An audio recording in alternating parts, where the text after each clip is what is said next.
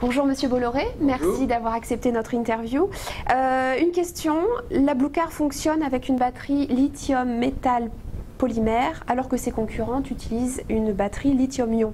Pouvez-vous expliquer à nos lecteurs ses avantages, notamment en termes de matières premières? Bien sûr, alors notre batterie est en effet unique au monde puisque son électrolyte, c'est-à-dire le cœur, est solide et ceci nous permet d'affronter des températures beaucoup plus élevées que le lithium-ion.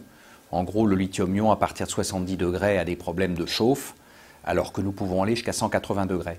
Sur nos bus, par exemple, nos batteries sont sur le toit, elles supportent les rayons du soleil. Nos concurrents ne peuvent pas supporter le rayon du soleil, donc on est obligé de mettre leur batterie dans les planchers, et ça empêche les personnes qui ont une mobilité réduite de pouvoir monter dans les bus. Donc c'est très important d'avoir une sécurité et d'avoir des températures plus importantes. Alors l'intérieur de la batterie est évidemment avec une architecture différente.